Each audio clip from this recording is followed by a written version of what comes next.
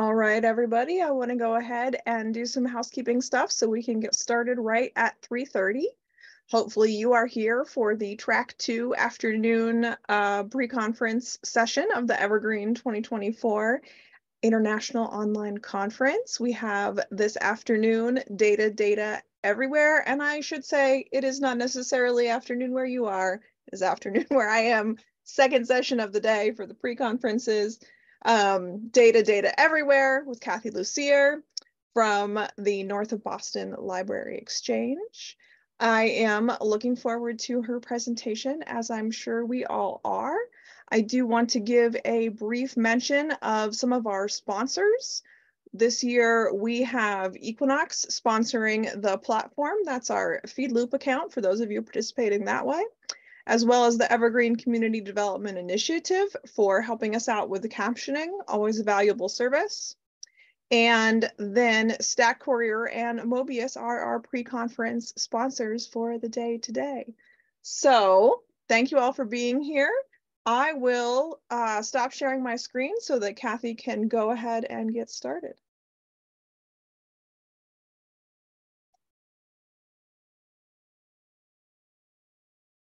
Oh, I think you're muted, Kathy. I am muted, of course. Good start. Um, I am going to share, try to share my screen. Let's see how we're going to do, uh, do with this. So, can you see the presentation? Yes. All right, good. Now let's see if I can make it big. Uh, good time of day to everyone since we don't know what time of day it is, um, but afternoon for me. Uh, thank you for joining me for the Data Data Everywhere um, pre-conference. As uh, Katie mentioned, I'm Kathy Lussier.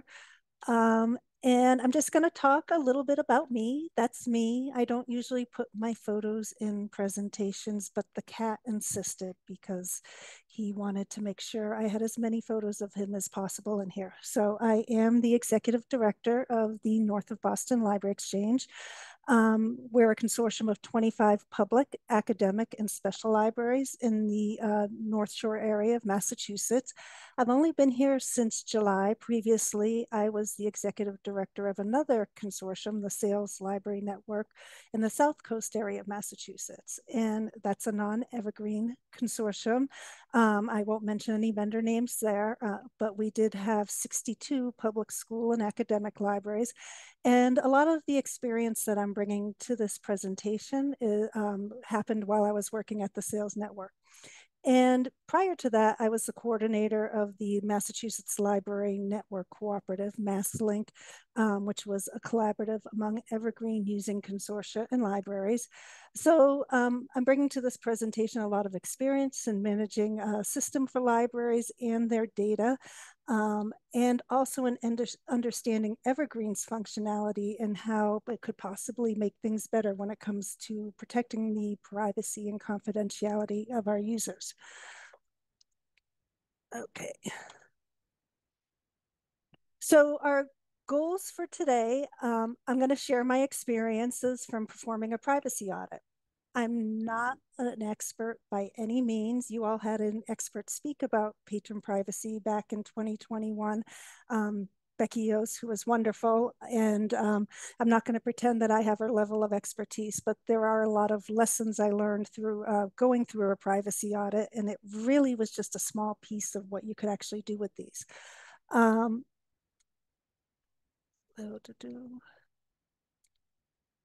so as part of this, I just want to give you a heads up. I will be collecting feedback from all of you as we go through this because I don't think you want me talking to you the whole time. Um, this is the third group I've done this presentation for. The first one was for the unnamed vendor group. Um, and then I did one with Jeanette Lundgren, who's here. So Jeanette, you're gonna hear a lot of what you've already heard from me um, for libraries in New England. So it's time for Evergreen to get this presentation, but you're all lucky. You get a full two hours. No one else has gotten that yet. So um, I, I wanna try to make it as interactive as possible. Uh, and then what I'm also going to do is try to provide you with some tools so that to help you improve your policies and procedures for managing sensitive patron data. And um, the other thing I'd like to do as part of this session is see if we all as a group can identify some ways we could improve Evergreen to better protect patron data. And, you know, when I go to sessions about privacy in libraries and how to improve privacy, quite often they'll say, go with open source software because you know how they're collecting data. You know what the code's doing to um, all of that information there. It's a better option. So what I would love to see is for Evergreen to be at a point where we could just go out there and say, Evergreen, that is the ILS uh, to use for protecting patron confidentiality. So that is my secret goal in uh, bringing this presentation to everyone in the community. All right. So I'm going to share our feedback tool with you. So I am putting this link in the feed loop chat. And Katie, you're going to share it in the um, Zoom chat. Is that yeah, right? Can do. And this is called Padlet. And I thought would have a nice little icebreaker exercise so that um, you all could learn to use Padlet and have a little bit of fun.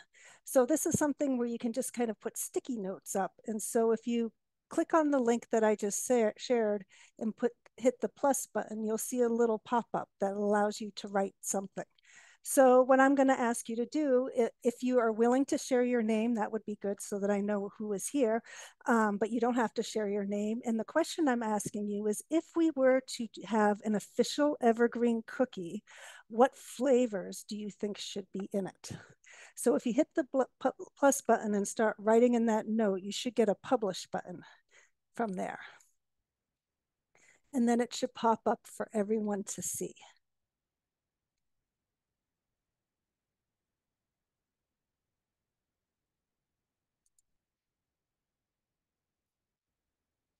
I am not going to comment on the oatmeal cookie one.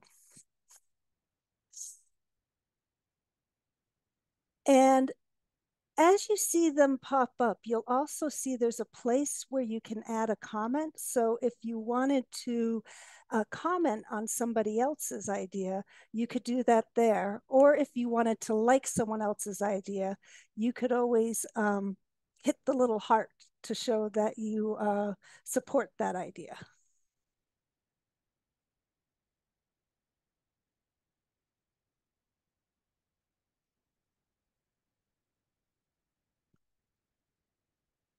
And anyone who knows me knows that there's probably, if I'm talking about an official evergreen cookie, I'm probably planning to do it.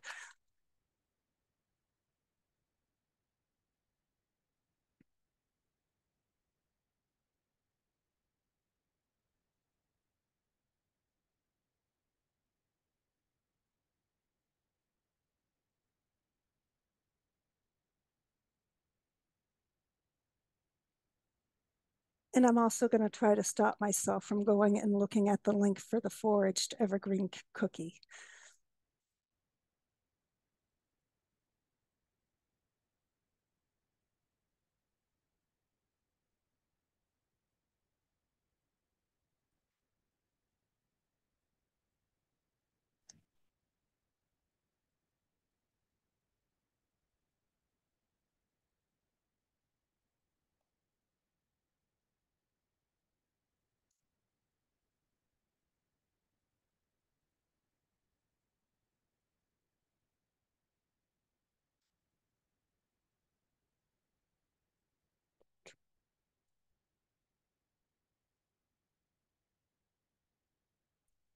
All right, so as you can see, this should be an easy tool to use. And as we get further along in my presentation, we will um, we'll go in and use it for something a little bit more useful than cookies, but nothing nearly as fun as cookies. So I'm going to move on. Um, I'm going to talk a little bit about trust because quite often, especially recently, when we hear studies about what people think about libraries. We often hear the uh, word trust. So I, I, put up some quotes from some studies over the past few years, and this isn't necessarily in uh, regards to uh, patron data or patron privacy. But you know, um, the Pew Research Center, Center, study that says libraries are a place to find trustworthy information. Um, EveryLibrary institution uh, just recently did a study where parents have a high level of trust in both school librarians and public librarians. Urban Libraries Councils. Libraries are highly trusted institutions that cultivate social capital in the communities they serve. It's a word that's often used when we talk about libraries. And I think that's why really being sure we're doing everything we can to protect patron privacy and confidentiality is important because the one thing you don't want to do is uh, destroy that trust. There's the um, old saying, trust takes years to build, seconds to break, and forever to repair. Um, and you don't want to be in a position where you really need to repair that trust. And uh, specifically where I am in Massachusetts, a few years ago, right before uh, we were starting our privacy audit, the Boston Public Library had the cybersecurity incident. And I think anyone who went to the conference last year saw David Leonard's uh, presentation about that. Unfortunately, I had to miss it. Um, but that was something that we were keeping in mind is that if something like that happens at your library, at your consortium, you want to show your public that you've done everything you can to protect their data. Um, I'm curious, and I don't even know how I get an answer to this question in this conference platform, but how many people here come into the session with the uh, belief that most people don't care about privacy, only the librarians care about privacy? Is that something people believe?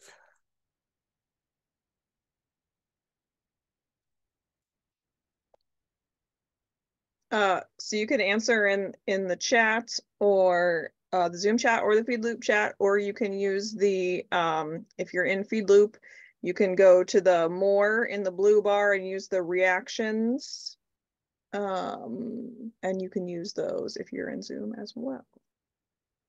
Well, and Ruth is saying that they have a lot of people who are very concerned about it. So that's good to hear. And then we have Heather who says, I would say that more people care about it than don't.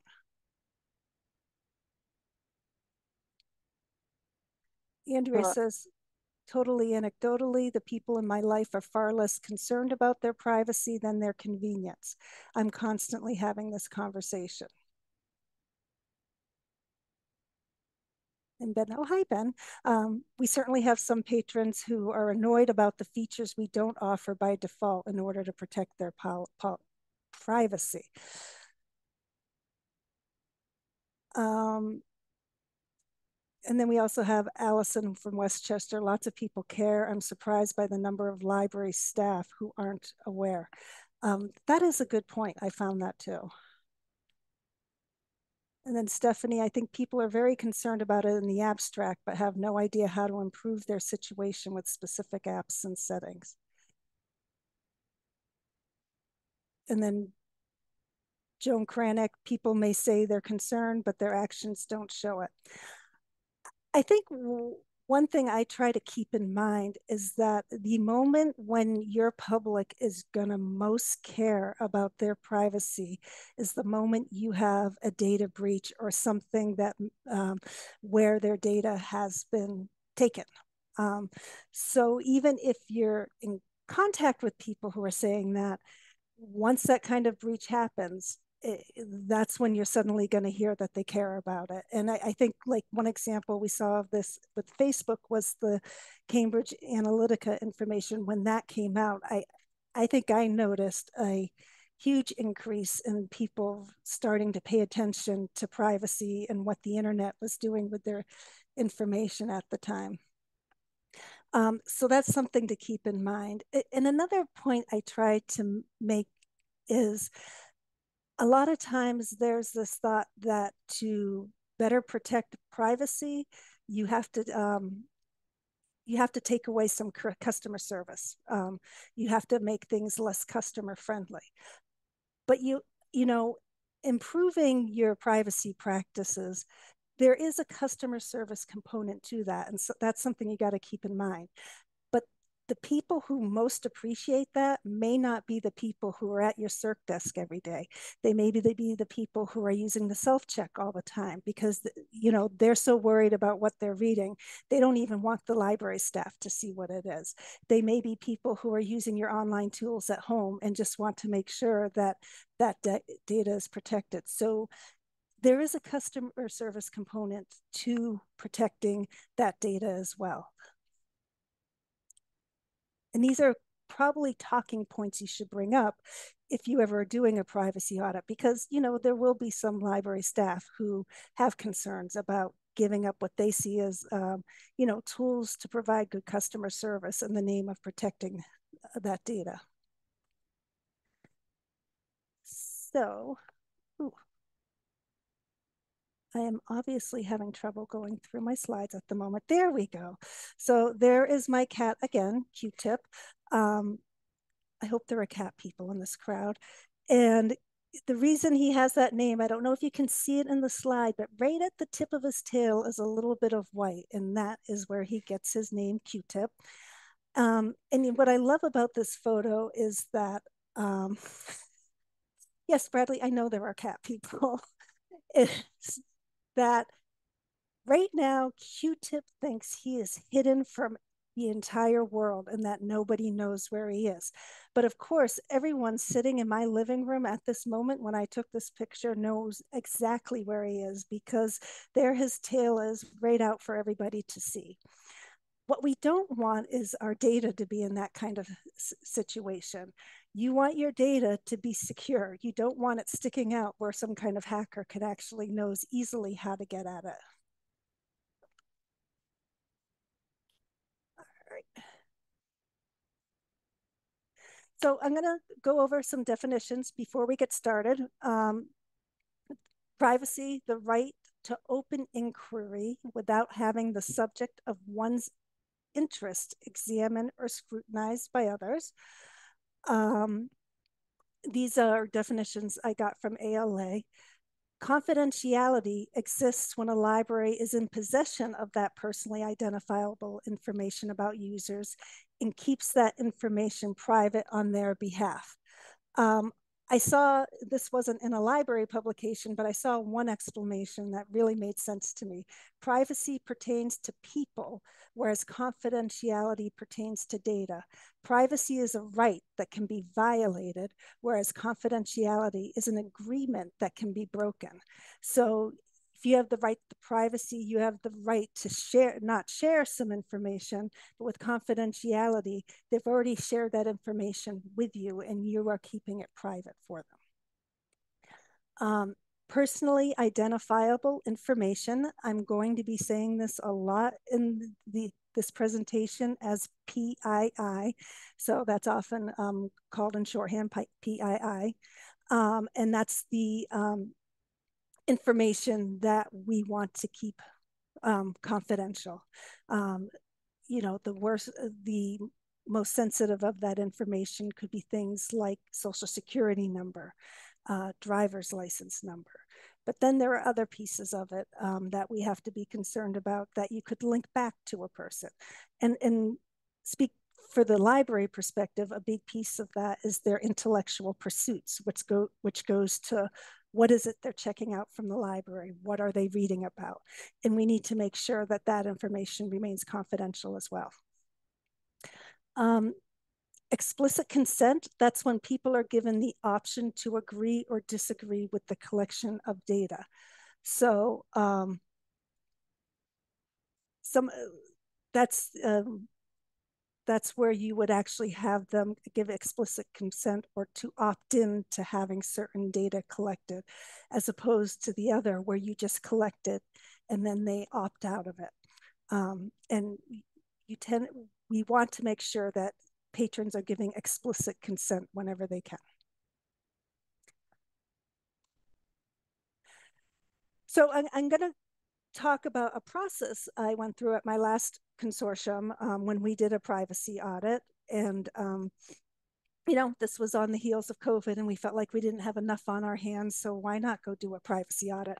Although, you know, COVID was part of the reason we decided to do this because we had a lot of staff in our libraries who took their laptop homes, and for the first time, they were accessing our systems um, from home on a regular basis, where they hadn't previously been doing that. And it led to the question of okay, staff know that when they're in the library, they need to keep this information confidential, or at least I hope they did.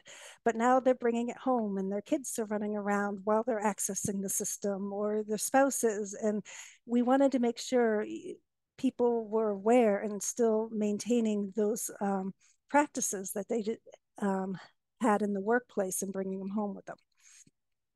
Uh, so we started off by just getting people talking about this topic. Um, so at our annual meeting in uh, June 2021, we had Becky Yoose come in, and it was right after a month or two after she had presented for the Evergreen Conference, just to talk about the idea and things we should be looking at. Um, and then we pulled together a task force, mostly of directors, um, that was formed to formulate recommendations related to any policy and procedures that would have a direct impact on staff or patrons. Um, our consortium staff, this wasn't, we didn't expect our library staff to do, do this, performed a data inventory. And then we ran an audit against the um, a checklist from ALA. They have several checklists uh, related to privacy audits. This one was specific to library management systems and integrated library systems. So um, I'm going to skip this slide because I think I repeat this information later on and forgot to remove that slide. So this is kind of the steps that really will help your library uh, improve their privacy stance. The data inventory, this is where you find all of the PII your organization is storing. And when we did this, we just focused on the consortium itself and not our, each of our individual libraries uh, because our hope was that from this, we could learn uh, and share that information with our library so that they could, um, you know, uh, benefit from what we were learning of our own practices. And then we performed the privacy audit using these checklists from the American Library Association, and that helped us identify areas for improvement and where we came up with a lot of recommendations uh, to better protect our patron data. Um, and then the next piece of the toolkit, which we didn't get to um, because I left, but um, was to do a review of our privacy po policy and to make it clear and easy for the average user to understand.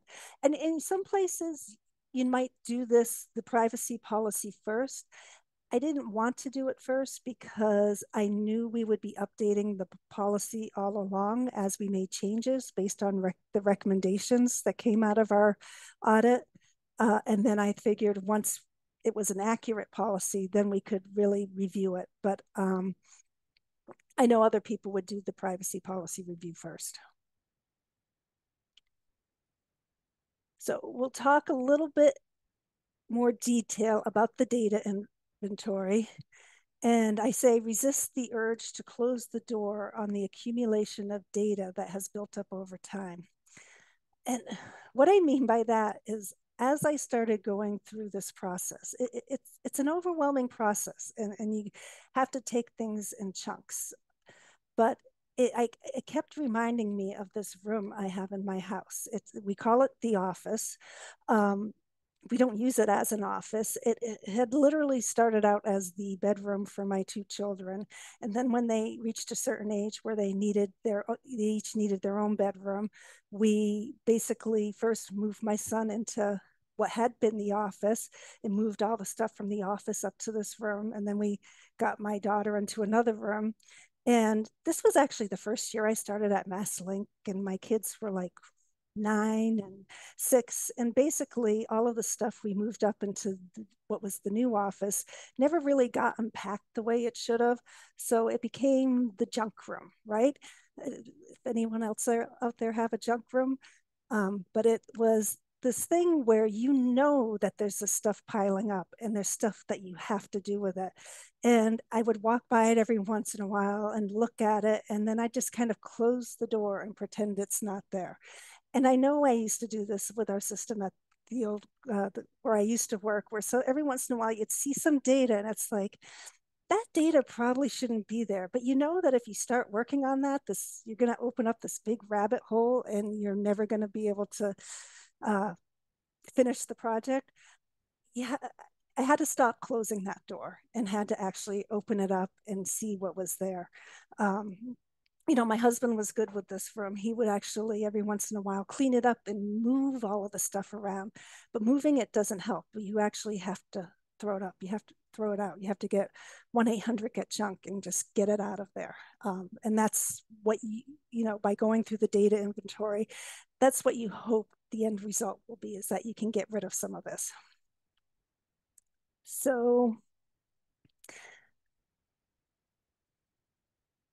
I got all levels of staff involved in this data inventory. And when I say all levels of staff, this was our consortium staff. This was not our library staff, but it wasn't just um, the librarians there. I had our administrative assistant going through her stuff.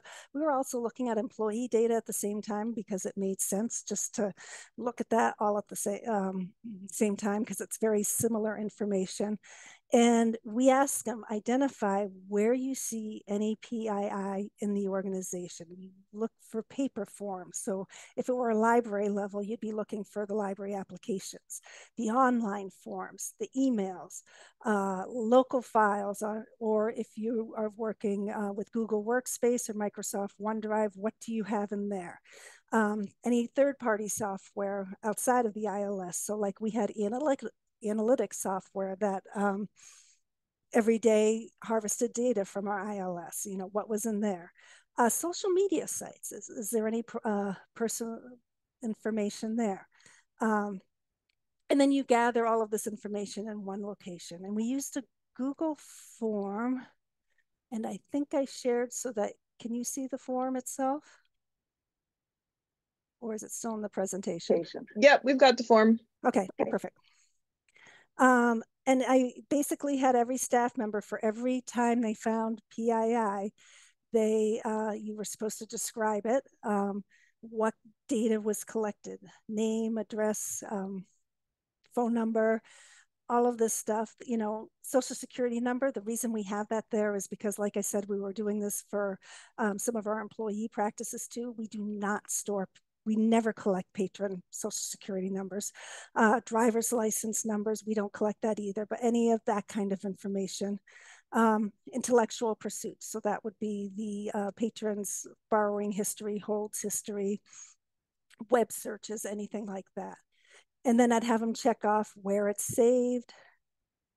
Um, if it was in Google Drive, who has access to the drive, how is it deleted or destroyed? In most cases, people were checking off, I have no process set up to delete it. You know, I sent it out there with the note that don't worry about getting in trouble that you have this data that we want to get rid of. We just want to find out where it is. This isn't an exercise to try to uh, punish people for um, having that data anywhere. Uh, and by the time we were done with this, we had a lot of stuff in our spreadsheet telling us where this data was. Okay. See if I can get back to my presentation. Yes.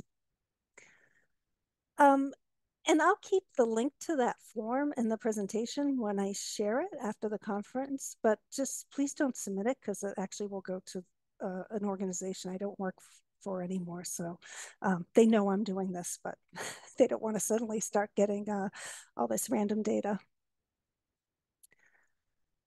So I think I went through this. Um, what information is collected? The other thing I, I didn't mention in that form is a big question. Why do we collect it? Is it necessary? And as we went through the results of the inventory, that was the first question I always wanted to ask is, do we even need that information at all? And, and that's a really important question.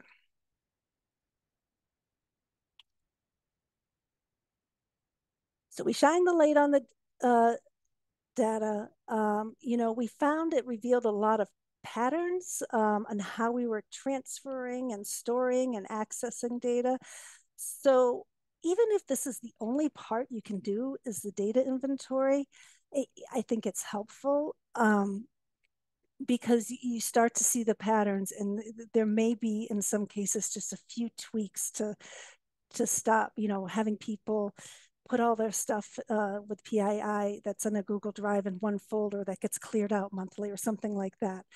Um, the other nice thing about it is that by getting all the staff involved, it really raised awareness throughout the organization uh, about privacy and really thinking about the data and where we keep it. It was, you know, you're building a culture of privacy in your organization.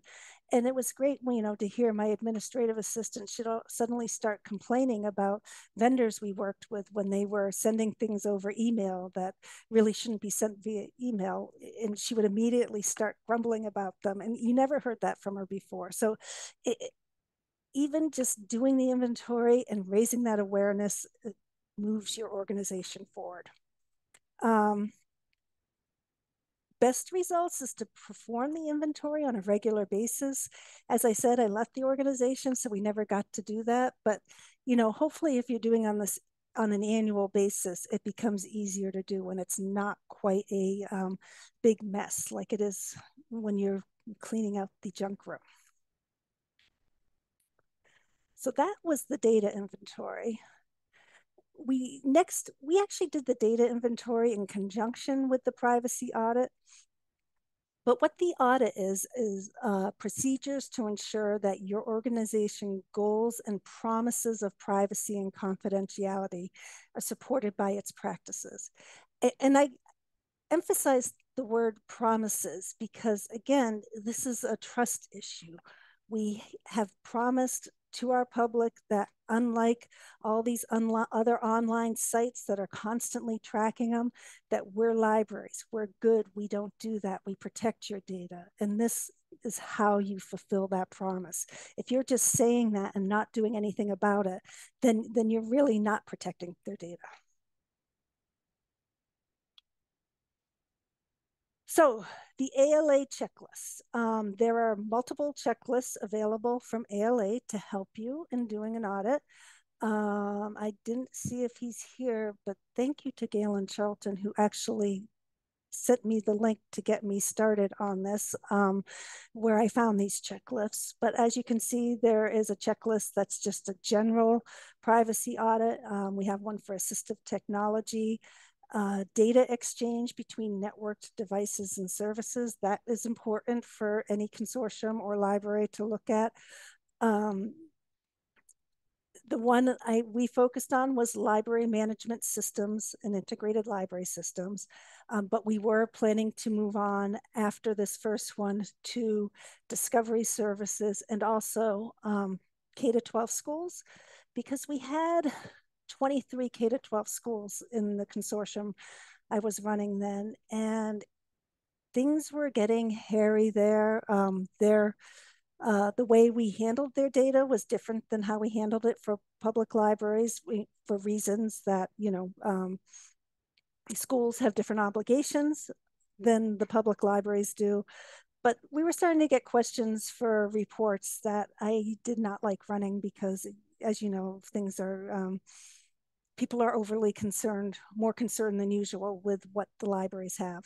So we really wanted to go through that and see if there were policies we could put in place to better protect that. But this is the one we, we started with. The reason we didn't do them all at once was I wanted to see progress, even if it was for a small piece of the puzzle.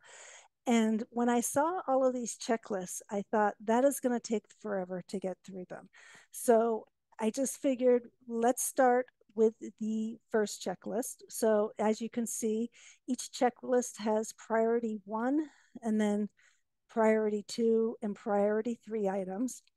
And what they mean by priority, it's not about the, the importance the priority one items are things that any library should be able to do. It doesn't matter if you're in a small rural town with just a few staff members with no technical ability. These are things you should be able to handle at that level.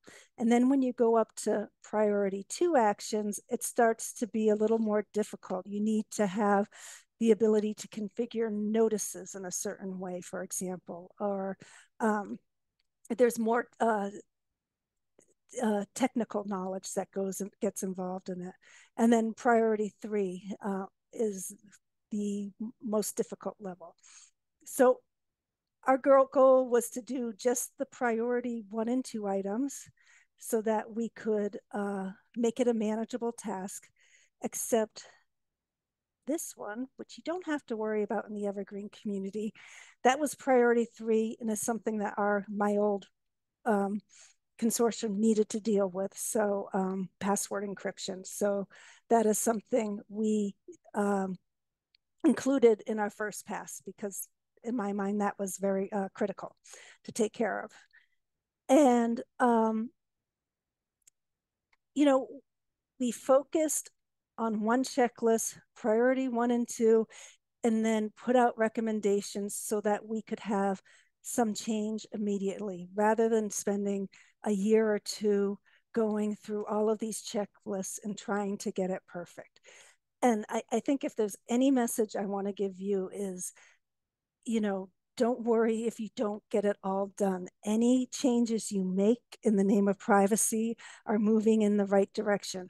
Even going through these prior, priority one and two items, there were some things there that I know I we just weren't ready for yet.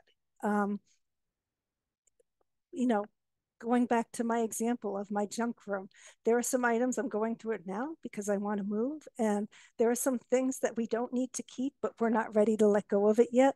Well, there were some steps for privacy that I know we need needed to make someday, but I knew we weren't ready for it. And that was fine because this should be an iterative process. This is something you should do on a regular basis. So maybe we're not ready now, but if we go through this checklist again in three years, we're ready to take on that next step.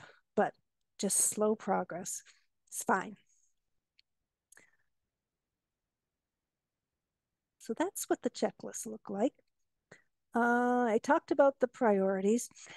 And then ALA also has these guidelines and they go along with the checklist. So I'm also going to bring up the one for library management systems.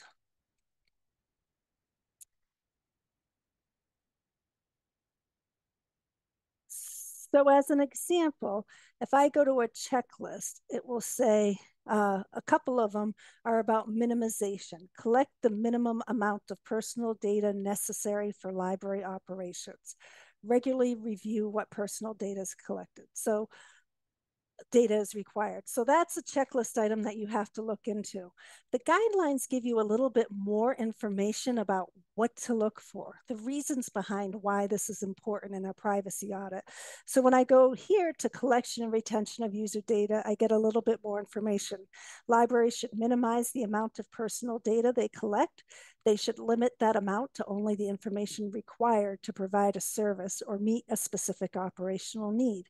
Library policies about personal data should also cover the use of any free text note fields. Um, that is really an area where you, you want to look in your audit note fields associated with the user's record. Collecting some types of data puts users at risk for harm if the data is breached or improperly used. Libraries should assess their direct operational needs before considering the collection of high risk sensitive data, such as government or organization issued identification numbers. So that's social security number, driver's license number, student ID, library use history, other than what you're checking out. So this is the um, other ways they're using the library or behavior. So again, look at your patron notes when it comes to behavior. Are, are people talking about patron behavior in those notes? Um, demographic information, uh, for example, gender identity, race, ethnicity, employment, all of that um, kind of information. So it gives you examples of what to look for. Uh, and then you get collecting this information may conflict with Article 7 of the Library Bill of Rights. Libraries should ask themselves the following questions when they want to collect personal data in a free text field. Why does a library need to collect that data? What is it being used for? Will the service not work if the data isn't collected? Who has access to it, how long does it need to be kept. Um, and then it goes along on about not keeping data in perpetuity and things like that. So the two work uh, alongside each other. One thing I want to mention about the fact that we're using an ALA uh, checklist, that I, I don't know if the, it would be like this in your library or consortium, but when I was communicating with our member libraries about this, it was important to point out that the checklist was there as a guide to help us find where potential issues might be, but that it was our task force that was making decisions about what to do about that because if you put too much emphasis on ALA, there are people who might bristle at the idea of a um, national organization telling them what you should be doing with data. Uh, and, you know, and I think it's probably gotten even worse now than it did in 2021 with this, but it, um, even some of our directors was like, well, that's ALA. That's not, they don't know what we have to deal with. So it, I, I just think it's important to constantly reiterate this is just a tool to help us and deter, eh, but that our local people are the ones making decisions. All right. So we went through the checklist. Um, and how we handled it is our consortium staff reviewed the action items that came out from this checklist. Uh, so we had a, we separated them. We had internal actions.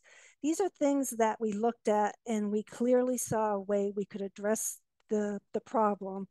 Um, and it didn't really impact patrons, it didn't impact staff workflow.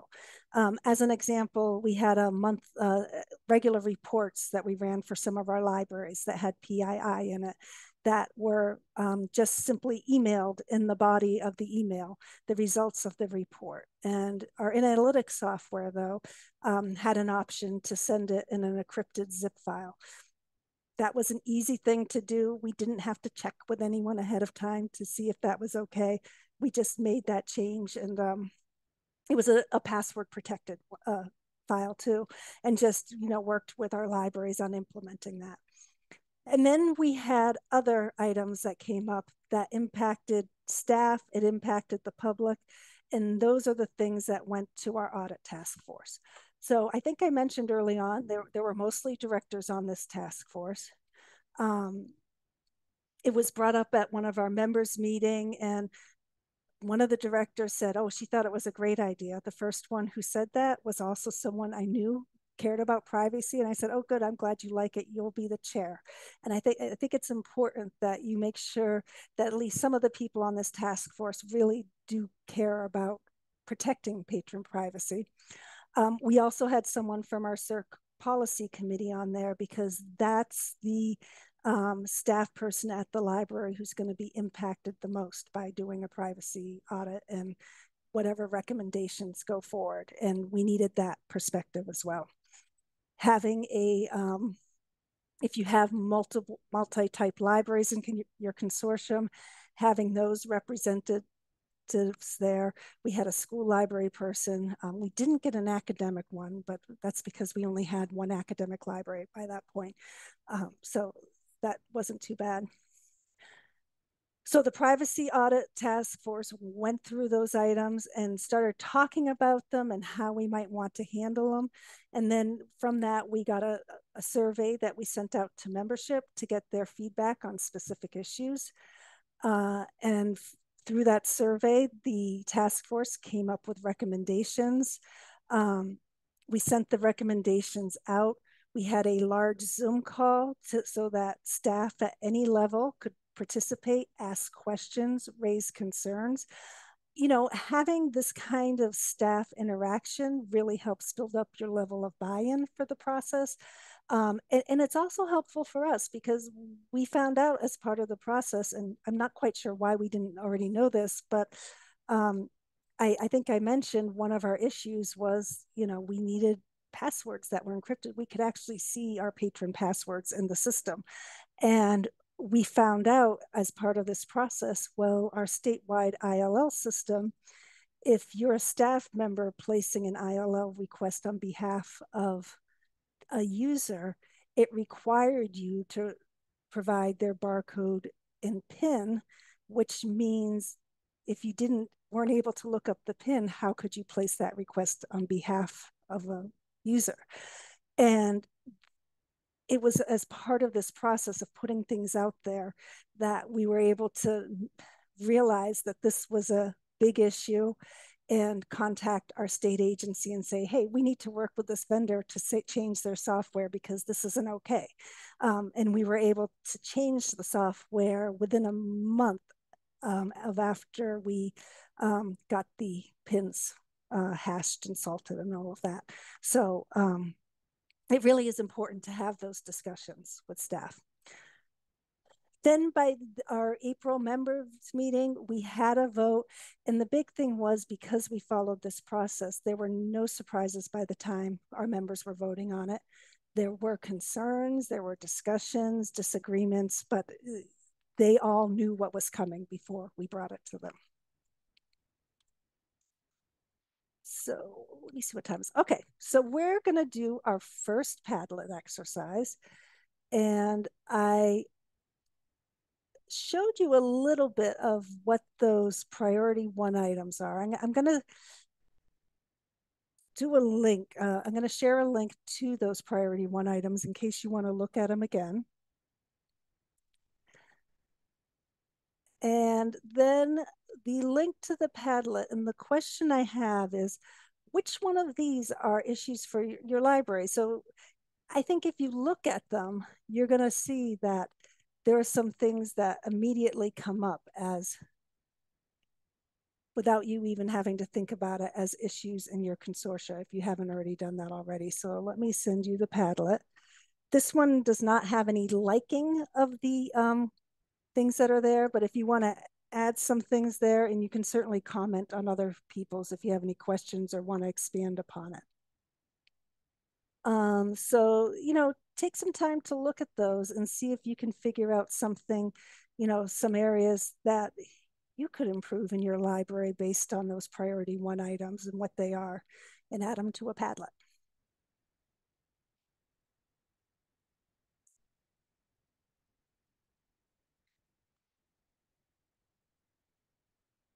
And if you have any questions, feel free to put them in chat.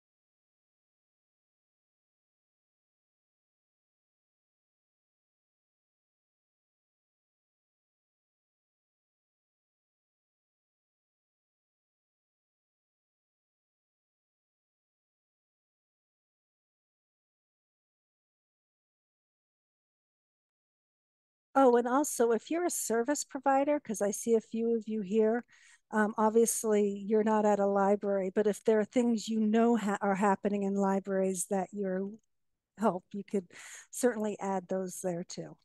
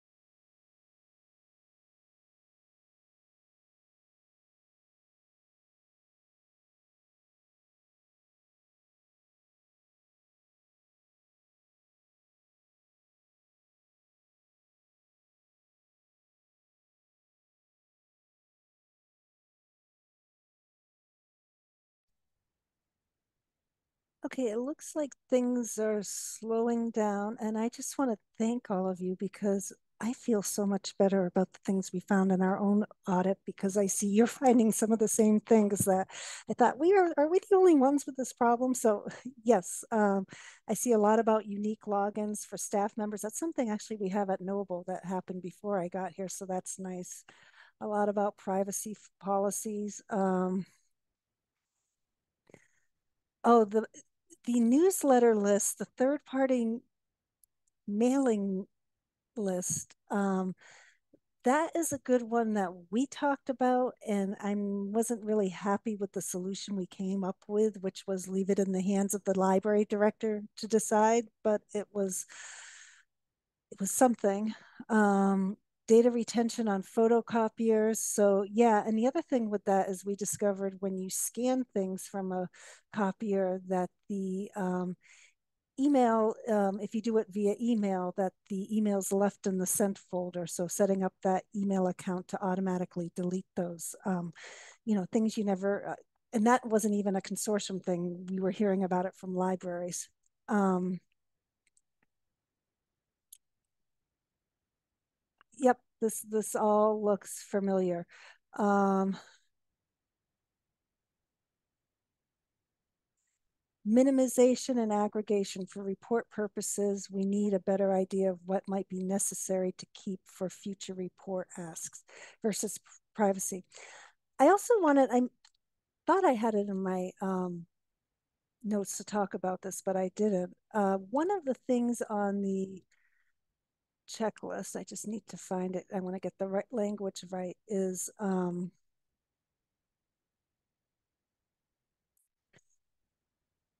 so aggregation, aggregate personal data and report to the greatest extent possible.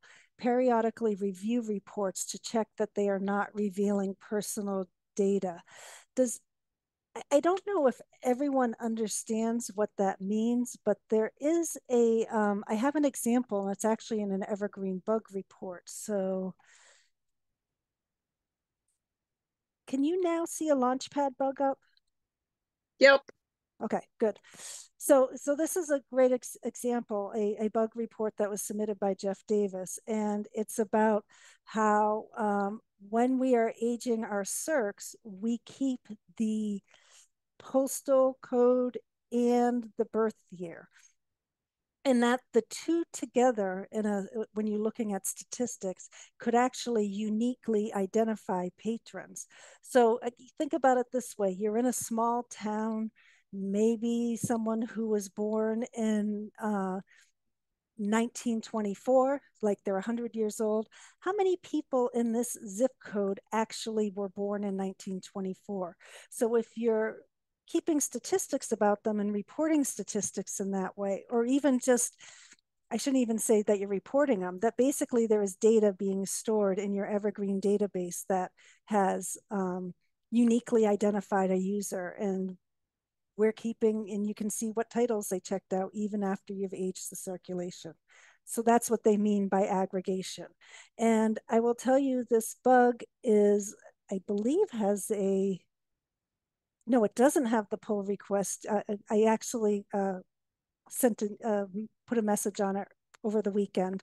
And I don't know why Rogan didn't work on it over the weekend, but um, he did have code there to uh, make it so that you don't collect those two pieces of information. So you have an option there. So that's what that uh, bug report is getting at. So, um, you know, there's a case where we have a concrete way we could actually improve privacy in the system if we moved forward with that.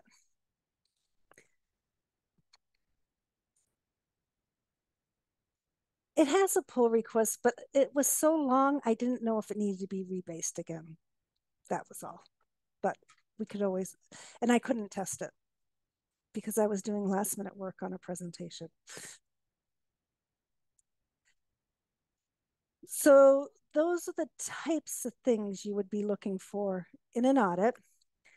We're almost at the one hour point and I like to give a break. So how about if we take a break for about 10 minutes and meet back here at 4.35 and then we can uh, move forward? Does that sound good for everyone? And I'll stop sharing. You want to come back at uh 35? Is that what you said, Kathy? Yeah, so it would be a 10 Okay. minute break, 4:35. Perfect. Great.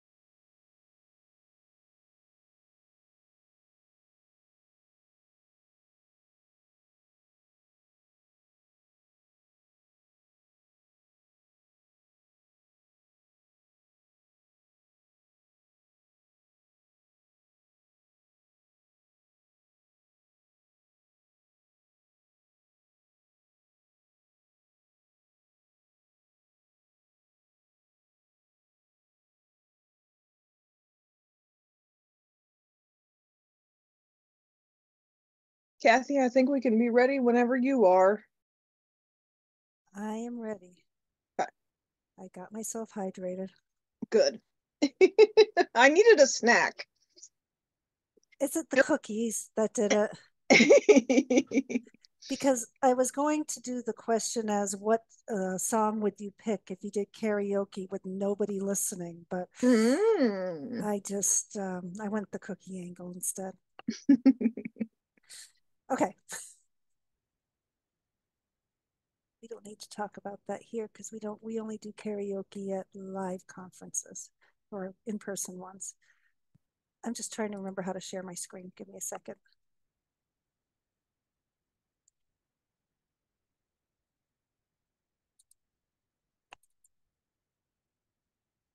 Perfect. Okay. So I'm going to go through. So we, uh, when we last left, we uh, talked about the process of going through the checklists, and I highlighted a bug. And Rogan says he's going to look to see if it needs to be rebased. But I'm only mentioning that because I would like to bring attention to the bug. Um, maybe it's something we can get in for the next evergreen release. Wouldn't that be exciting to get a uh, improvement to our privacy practices for the next release? Um, so here are some of the findings we had in the org my own organization we went through this audit. And uh, just to let you know i'm about to go through this whole process again um, starting next fall with noble. So you know i'm happy to talk about how that process went at next year's evergreen conference. Um, but that's just a way of saying this you know the process didn't kill me. I'm willing to do it again. So it, it was a good thing. Um, so one thing we found is we were exchanging a lot of private information over email um, and and that to me is problematic. Um, email can be intercepted. That wasn't my biggest concern. It's more how easily it, it can just move around. Um, you can forward it you can copy people on it you re- you reply all to it. Um, quite often these were in support requests that we got from libraries. So your handle, if it's a tricky support request, you start copying other people in it, and then maybe they forward it to their IT person. Um, and it goes, this thread goes on forever, and you lose sight of the fact that way back in the beginning part of the message was a whole bunch of um, personal information in it. Um, email accounts get hacked. Everyone knows somebody with an account who got hacked. Um, they're also easily accessible to family members, especially you have them on your phone. Is how hard is it for a family member to grab it and open open up the email? Um, email can be misdirected to the wrong person. Uh, it happens all the time. So a, huge thing we did was just trying to stop using email for everything that had patron information in it.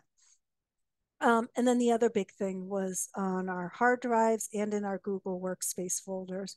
We were saving a lot of file with patron information, and we had no processes set up to remove these files. So that was something we needed to get a handle on.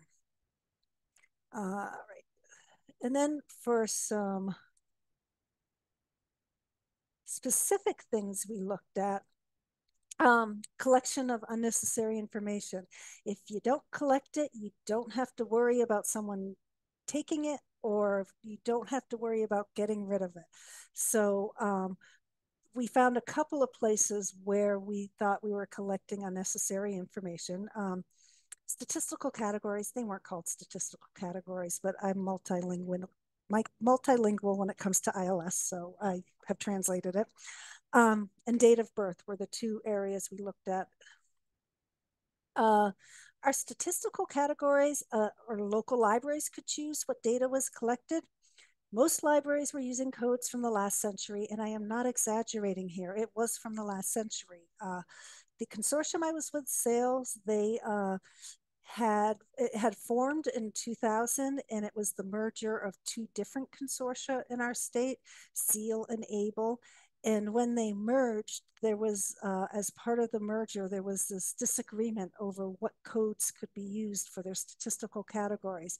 So basically, it was left to the libraries, and the ones from SEAL kept using the SEAL codes. The ones from ABLE kept using the ABLE codes.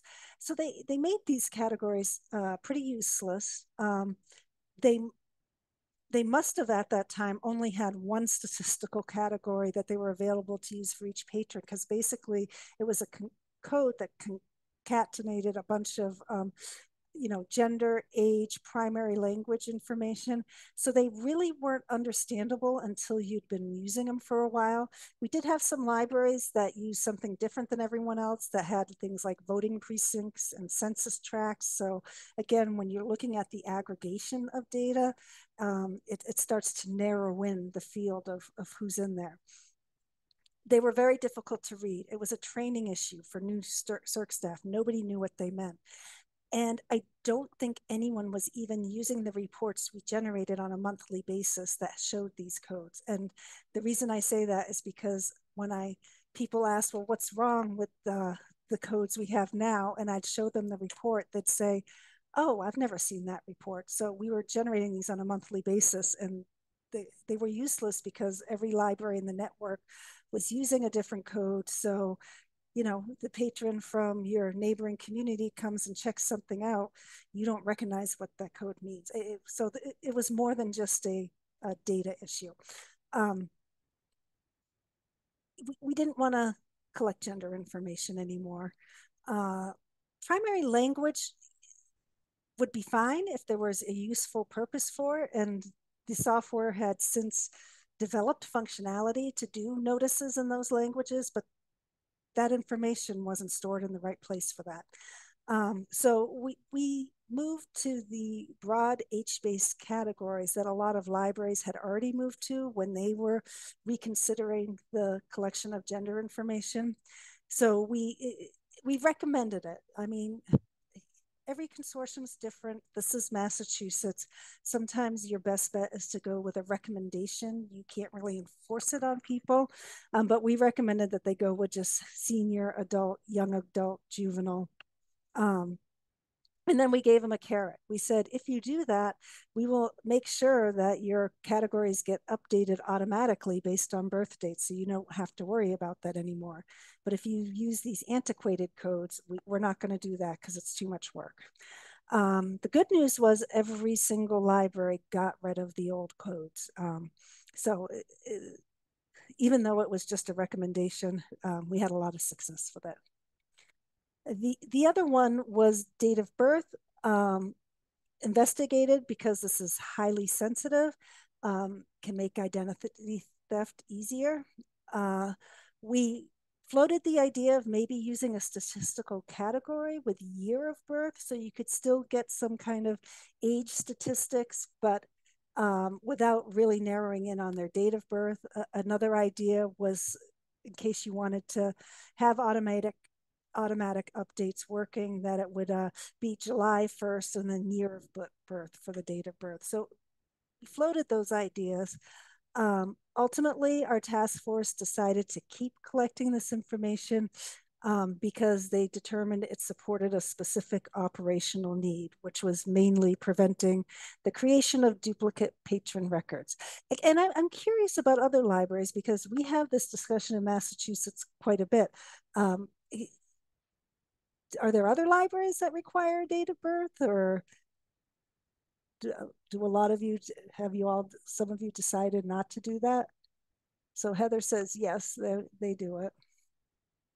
In king county yep for the same reason.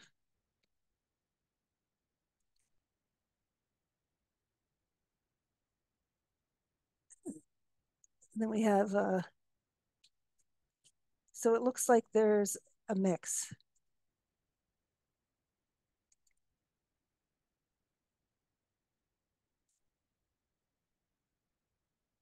and in Sampson, North Carolina. So yeah, that's that's one. It, it's it really is a sensitive piece of data. It's I think if it were like a single library, it might be a little bit different than if it's a consortium where you have so many um, you know, such a wide geographic area and so many common names, uh, names that people have in common. You just really need it for the duplicate checking. checking. Um, and so Dan says they require it, which we didn't.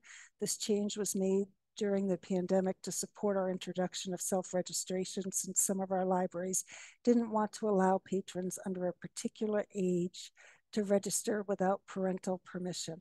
Yeah, that's a, um, and this is why we've been having the discussion a lot in Massachusetts because we have the online registration that we moved to, and they certainly recommend it for duplicate checking um, with the online registration. And we had some consortia who had issues with that because they had never required it in the past. So um, that was a case where we made no changes.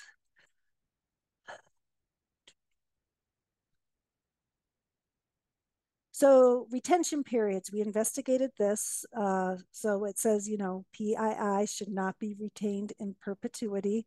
Uh, the library should establish policies for how long to retain different types of data and methods for securely destroying data that is no longer needed.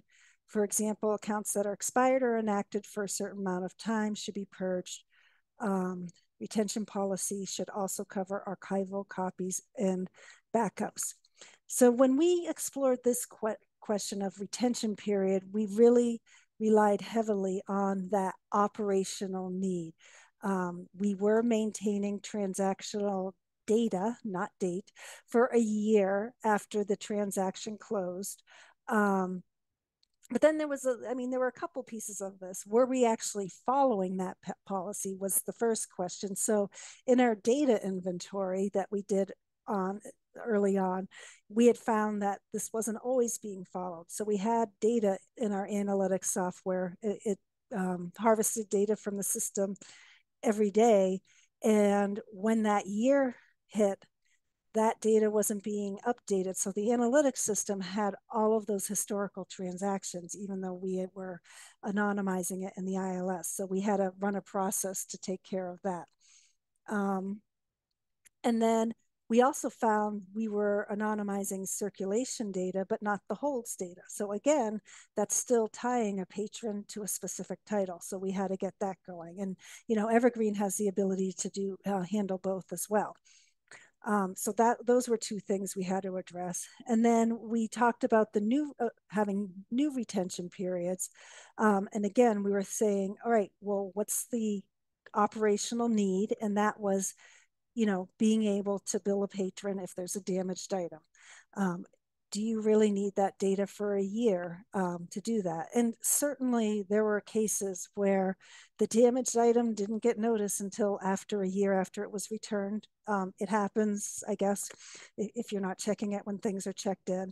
Uh, but, you know, for the most part, and this one went to our circ policy committee, they determined that really 90 days was uh, how long um, we needed that information. So we moved that to 90 days.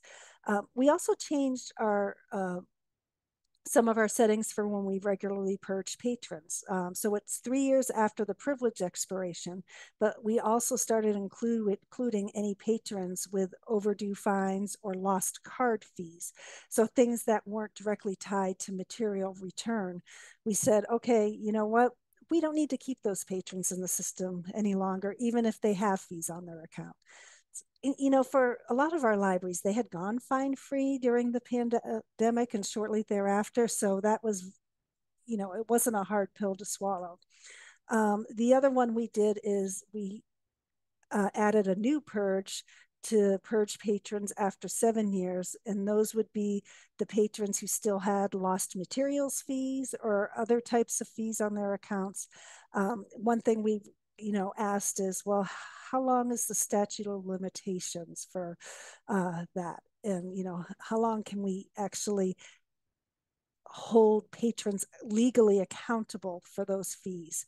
Um, so th- that's where the seven years came from and um, you know checking on state law and things like that is important uh, and those got purged there were patrons in there who had a bill back in 2000 um, that money was never going to go back. We didn't even know if that patron was still in the area. So I think, you know, there was when we pulled the data together, there were like tens of thousands of dollars that we were getting rid of when we implemented this policy. But when you're looking at bills that are 20 years old, you're not going to get that money anyways. It's just, you know, it's fake.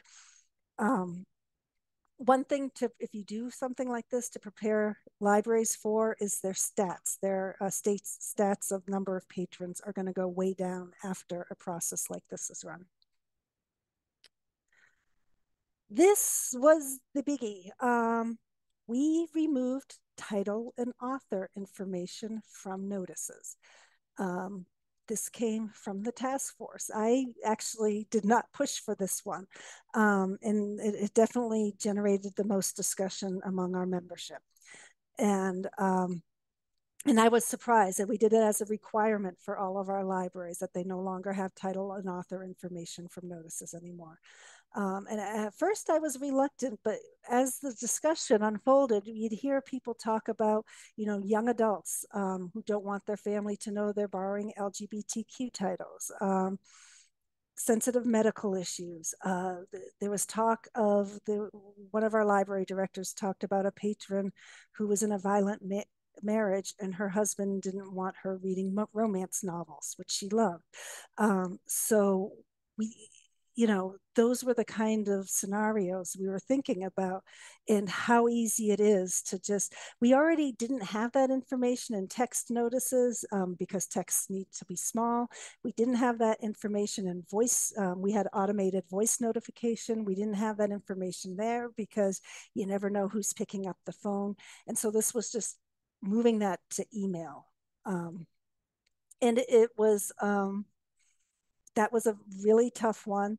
The it was the only recommendation that went forward to our membership that had votes in opposition to it. There were two votes opposed to it. Uh, our task force had talked about doing maybe patron opt-in for getting titles and authors in their notices. At the time, we thought it would have doubled the number of notices we scheduled.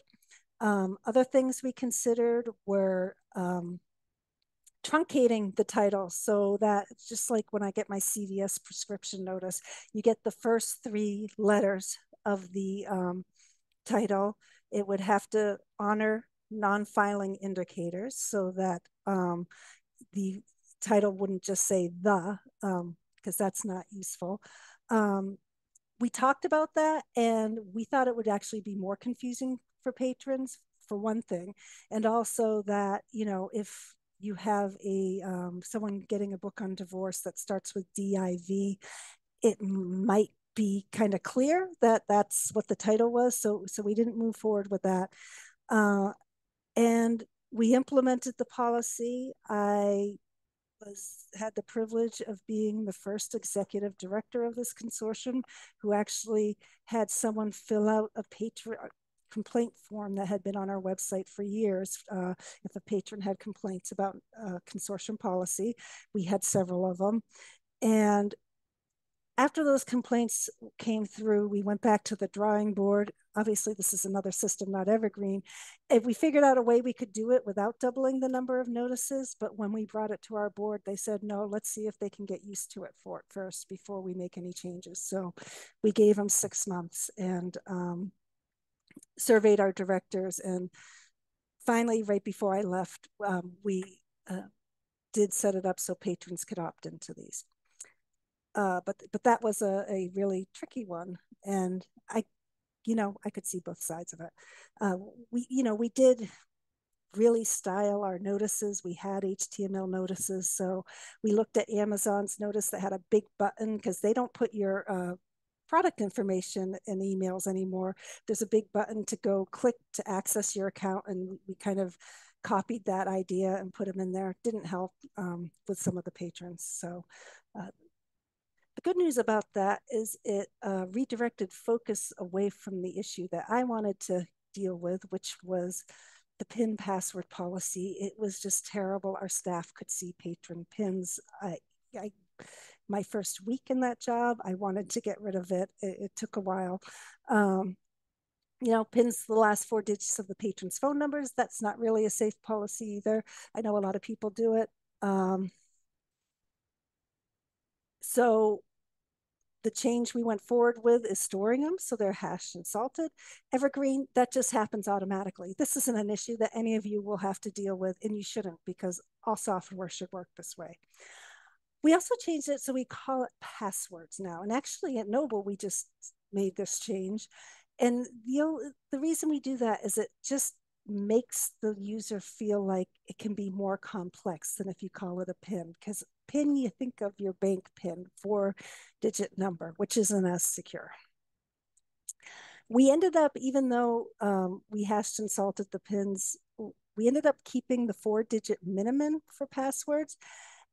And the reason is one of my goals, and I put this on a Launchpad bug today, is to remove the staff member from the middle of this interaction where a patron is setting a password.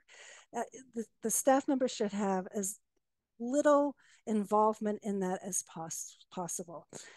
And the software we were using, really, you couldn't, you could set a strong password, but you couldn't enforce that strong password through the public interface. Um, what would happen is it would have to be it, it, would have to be happen through the patron editor. And I, I didn't want to do that. There was nothing that when they logged into the catalog that would say hey your password's not strong enough. Here why don't you make it stronger? And um, so i was waiting for that to get improved before we go up to more complex pins as it so happens, Evergreen has this problem too. So I do have a link to a bug that um, talks about this. We actually had that in the old JSPAC, and I don't even know how many people here remember that catalog, uh, but it was not the best. Uh, but, um, you know, the ability to have the catalog prompt you um, and ask you for a stronger password in, when you're logging in and to force you to do that. Uh, so that that is a huge thing um, that I think is needed in any system because that's pretty much how most websites work these days. Um, and I do know that there is another bug out there that is working on more uh, of a password system, but I don't think it's actually addressing this specific need. Um, but anything you can do with password security and not having a um, staff get in the middle of the interaction. Because of the way we create accounts, the staff have to get involved at some level because they have to create the initial password. And whether that's a four digit number or what, that's fine. But, you know, having the actual user then deal with any more password issues.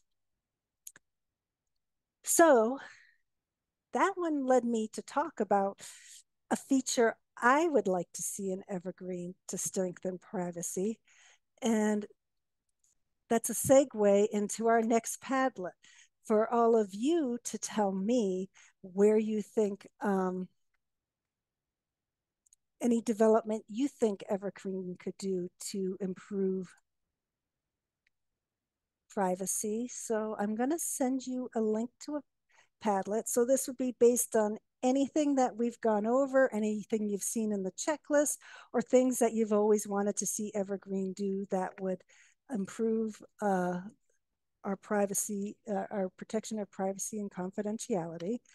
So I'm gonna, uh, I put in a link to the Padlet in the, um, one of the chats, and Katie will put it in the other chat, the Feedloop chat. I forgot the name of the platform we're using. Um, and if you could just kind of put some development ideas up there. This one has a like button, but I'm going to ask you to hold off on using the like button for now. But if you just want to put up ideas here, and if you see something that looks like yours or is similar, try adding a comment to it rather than doing your own uh, note sticky for it.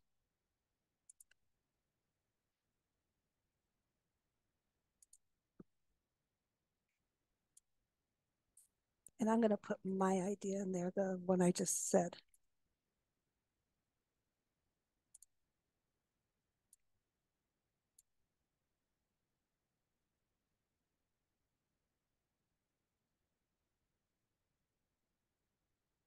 Oh, I don't need to because someone else already did it.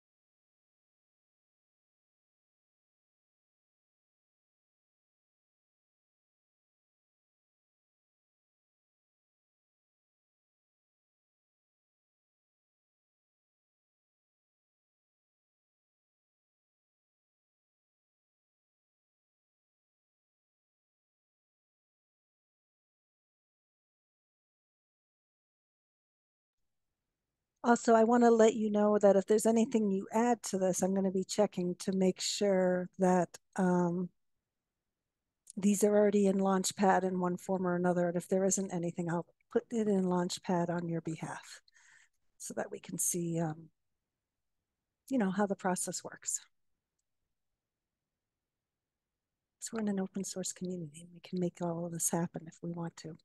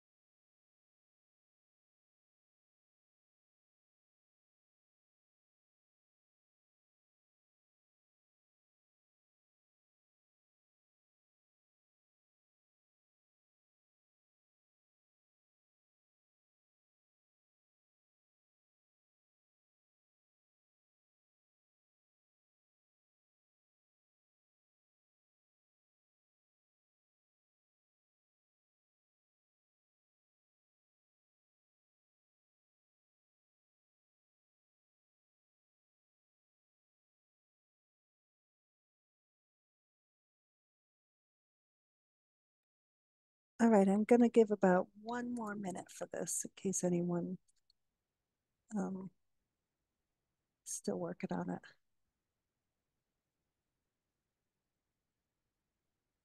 Really, Andrea, get to work on that.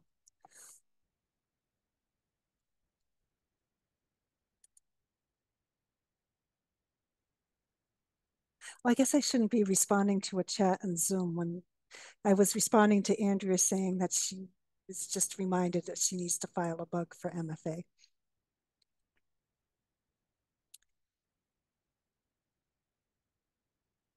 Okay, actually, um, if anyone, you can still keep working on this because I'm going to have something else for you to add, which may seem like the opposite to what we've been talking about today. But now I'd like you to add to this Padlet um, are there features fraught with privacy concerns that you would like to see implemented in Evergreen in a responsible manner? And I'm going to give you an example of um, what I mean here. Um, so one I didn't mention this in my presentation because this isn't an issue in Evergreen, so so why? Uh, one of the uh, concerns from our privacy audit is in the software we were using, staff could see, um, could have the option to see the circulation history of their patrons. So patron decides they want to keep their reading history, their circ history, and if they did that, the staff could also see it in the patron editor, which is a privacy concern. It is not something that you can do in Evergreen, assuming because it's a privacy concern.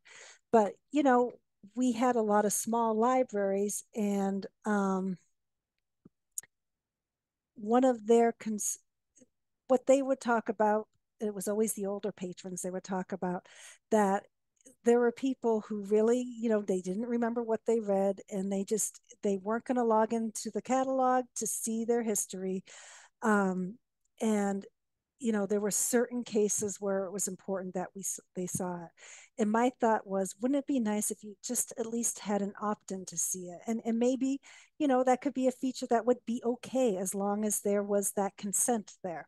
So, so that's what I, I'm using as an example. So are there features, uh, recommendation engines or other things that have come up in the past that maybe we've hesitated working on because of the privacy issues, but maybe we would be the right people to implement it because we know we would do it the correct way and take care of those privacy issues. So that's what I mean. So if you have any ideas for that, go ahead and add them to this Padlet.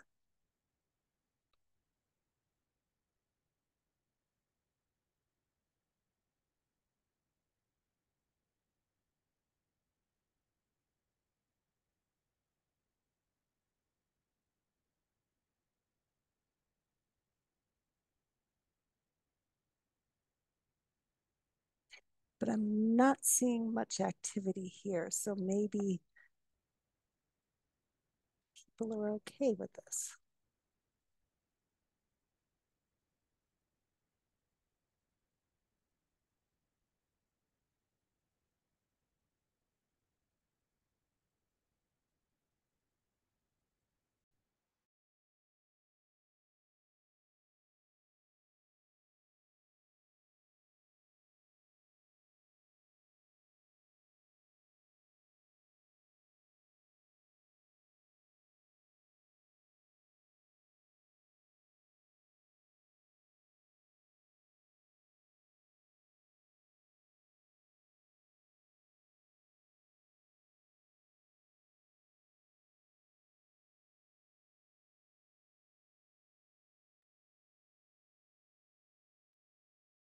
Katie, can people unmute themselves here? If they are in Zoom, they definitely can. I think they also can if they're in Feedloop is yes. So yes, they should be able to. I'm just wondering if the person who wrote about the RESTful API, I don't know if everyone who's here knows what how what that work would do. Could like uh, explain it a little bit more? Oh, I like that clean slate one.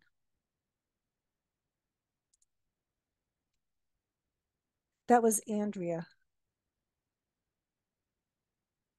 Can you unmute yourself, Andrea, or is that? I think so. Check one, two. Okay, yes, I hear I you. do not have, I am not, do not have a microphone hooked in, so I, there's probably going to be background uh, noise. I can hear you perfectly. Great. Well, there's still probably going to be going to be background noise. Um, um, yeah, so uh, RESTful API. Um, this is basically a way to update uh, the APIs that underpin Evergreen um, or that allow Evergreen. This, sorry, I did not prepare myself, Kathy.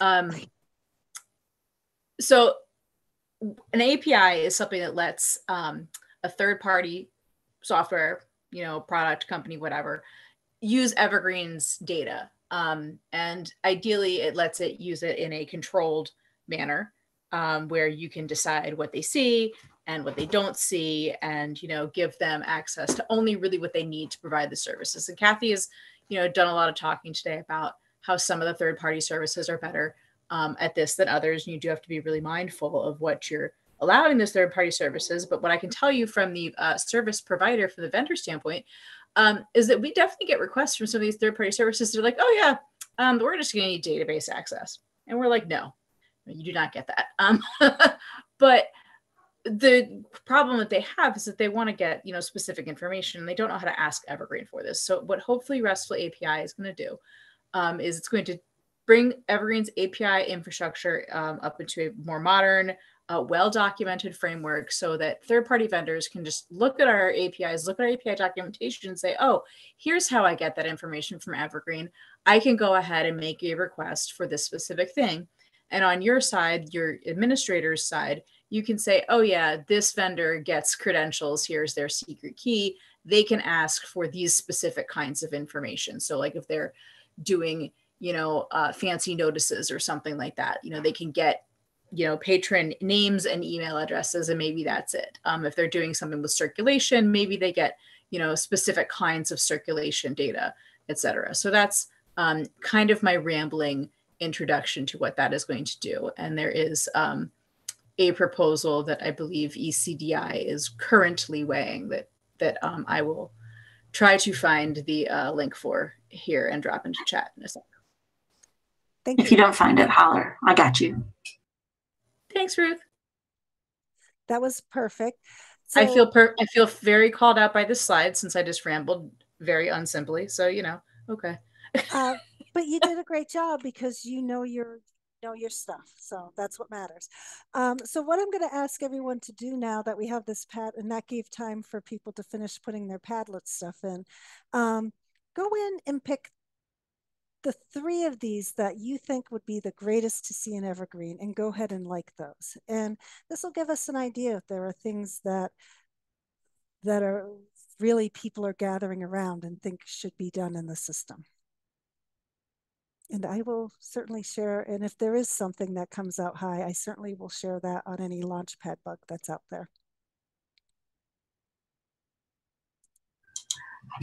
So as coordinator for the ECD, I also want to do a little shout out here that there is going to come a time when uh, RESTful API is developed and there is going to come a time when multi-factor authentication is developed and in order to get them in the software, uh, they need to be tested. And so um, I'd like to encourage anybody that's in here with the wherewithal to participate in getting those things. They're highly technical. I mean, this is this is uh, not necessarily something that your circ staff is going to be looking at, at an administrative interface.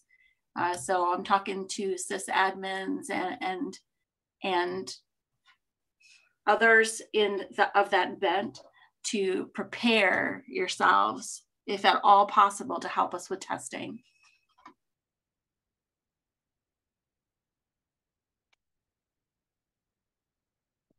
Thank you for that shout out, Ruth.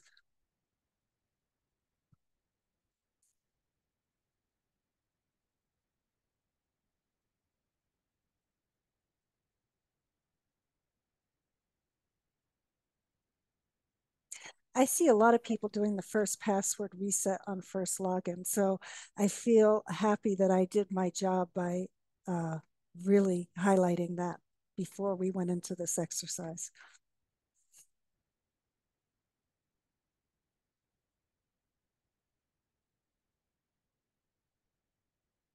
And Andrea, I mean, you must have done a good job on the RESTful API because that one's coming out high too. Hey, well, I mean, look, it's it's important. And the astute among you might have noticed that that uh, spec that I linked is labeled part one. There is, in fact, going to be a part two, which will add all kinds of uh, nice interfaces uh, to do this in. So you don't have to like, you know, bug a, you know, a sysadmin to, to do it via the command line or something like that. It'll have interfaces where you can manage this as well as a public interface where you can allow select third party vendors to manage it themselves. So that is that is what part two will entail but we're not there yet. let me say the inappropriate thing because i'm good at it yeah we, we uh, count on that the that, first right? the first part is the foundation i mean it is the infrastructure and it is amazing it is the highly technical the second part once we get the infrastructure, it is the sexy part. And, and it is pretty freaking amazing if I do say so my own self. Um, so, but we got to do the first part first. I don't understand why that was inappropriate, but thank you. Uh, well, because I was going to say there's definitely a slide in our presentation, Ruth, where I talk about infrastructure and how it's sexy. So maybe I should change that. no, don't. I mean, we were almost going to leave the title what it was. So um, before I get back to my presentation, there's a question in the Zoom chat on the topic of multi-authentication, multi-factor authentication. Is there any progress on the app in the pi- pipeline? Boy, is there ever. No, I Um, think I there, have are you, but here, uh, hold on, I'm going to interrupt. Uh, is Keen, are you talking about the mobile app? Oh, my bus. Yeah, I think I think the conversation is about hemlock there. And that, So I'm gonna, I'm gonna speak for Keen and Keen, if you're here, please feel free to um unmute. Uh, but I, I don't think, because um this individual is a staff person at one of the Spark libraries, I do think that that is about staff client login. oh, okay. I could be wrong. But we don't typically promote Hemlock. Some of us use Okay. Hemlock, but we don't promote it, so I don't, I don't think that's what it is. Okay, um, then you can go back. I, I, it hasn't died, but I will let, um, either Andrea or Ruth answer it.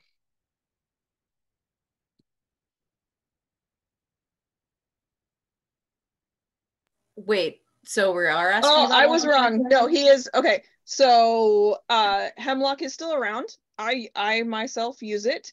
Um, there are some libraries certainly that use a number of third-party apps.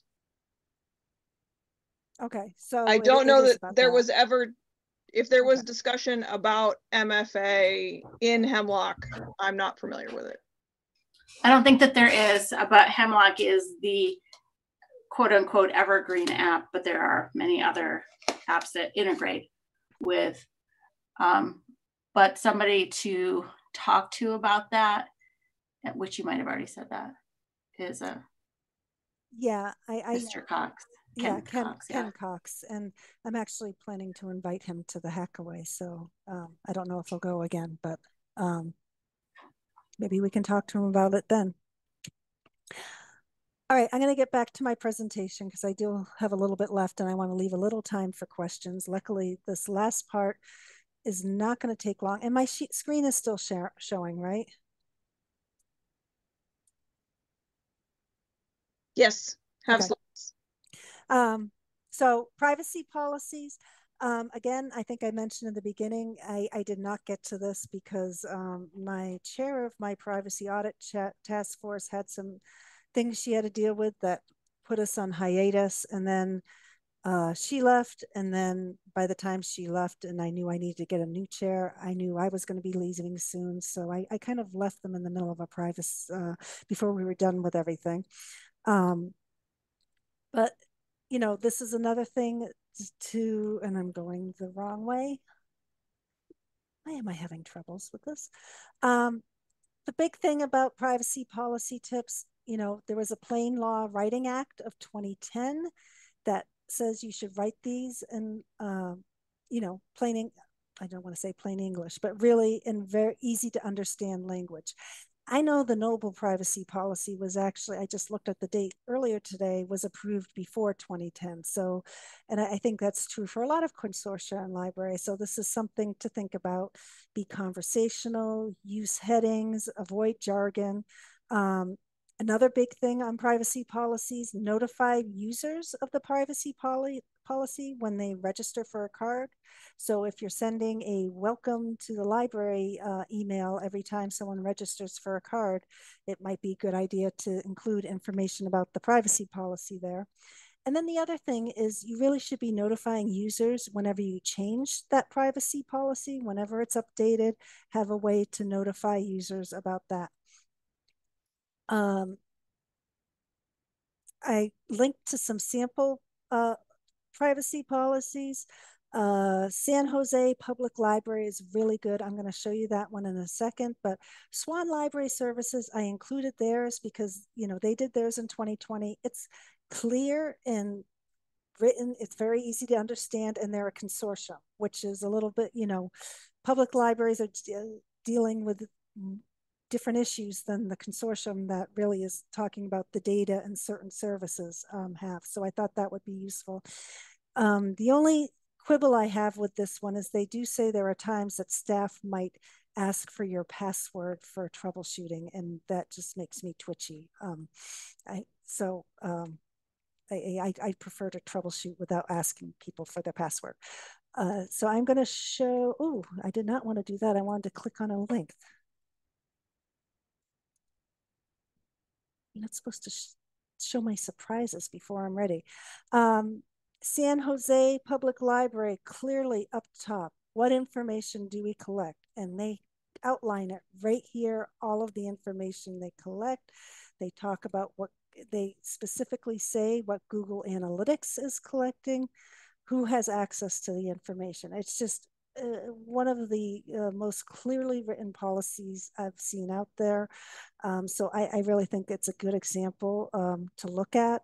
Uh, I, I've attended presentations that done on this. Um, so it, it, really is good. And then of course they have the thing at the bottom uh, for people who can't see this that says this library has not been served with a government subpoena or national security letter under section 215 of the USA Patriot Act. If this notice is removed, customers can assume that a subpoena or national security letter has been served. Um, that was interesting. I didn't know libraries were still doing that. Uh, that that was big around the time the Patriot Act was uh, was passed. But uh, I think they're a really good example to look at, and, and definitely look at the Swan one as well.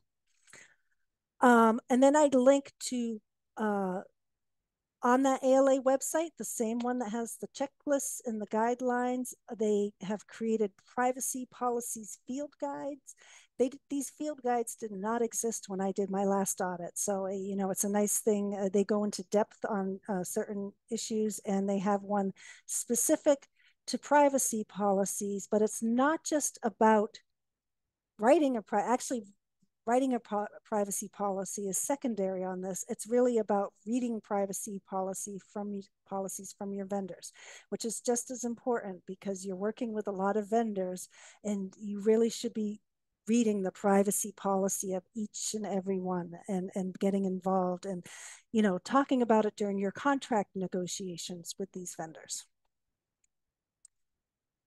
So um, that's all I'm going to say about that because we do have about 10 minutes left. Uh, I do have the last picture of Q-Tip because he was not happy that he didn't get much FaceTime in the previous two photos. This one was actually taken in March 2020 when he was showing us how he could socially distance. Um, so, but that's just the cat. Um, but uh, if you have questions that aren't cat related, I'm happy to answer them.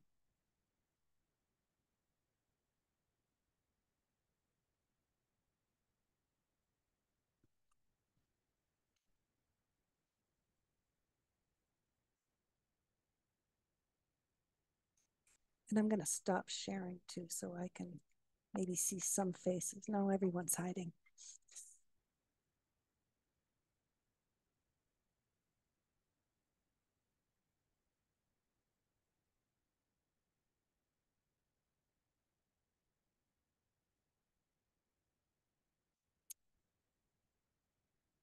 I don't know if I count, but I'll turn my video on.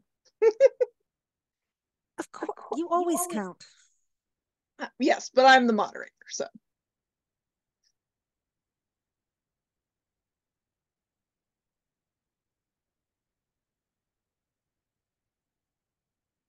Has anyone been through this process who found something that didn't come up in my presentation that they would like to share?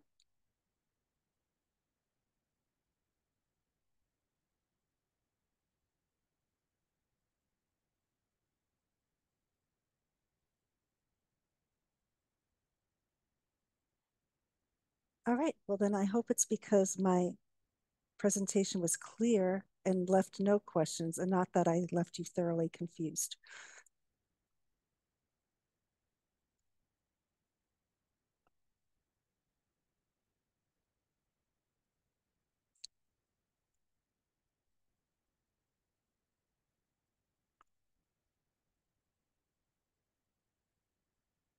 Bradley, go ahead. What's the cat question?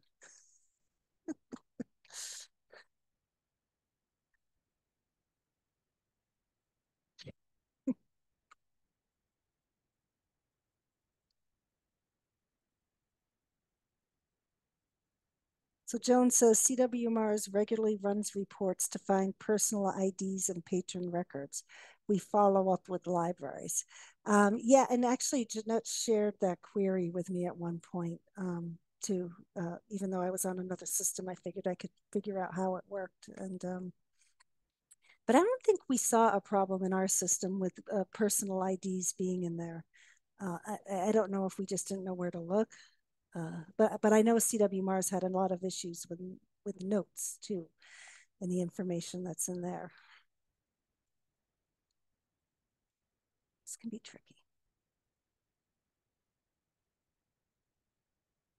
And I know this because, like I said, Jeanette and I did a uh, presentation together at our New England Library Association.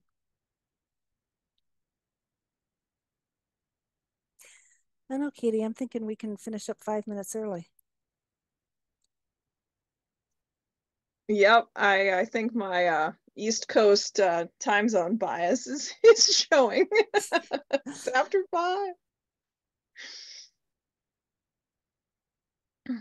Well, thanks everyone for coming and listening. And you know, I hopefully you know where to find me if you have uh, any other additional questions after this.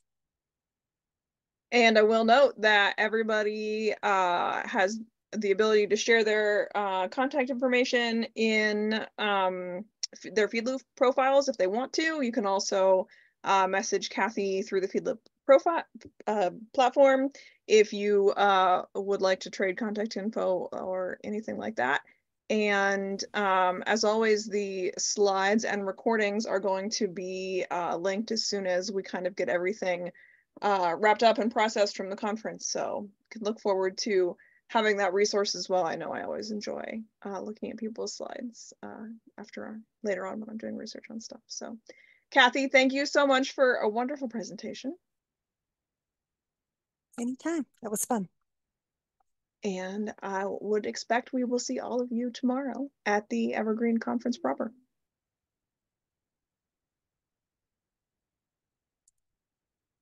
Have a good night, everyone.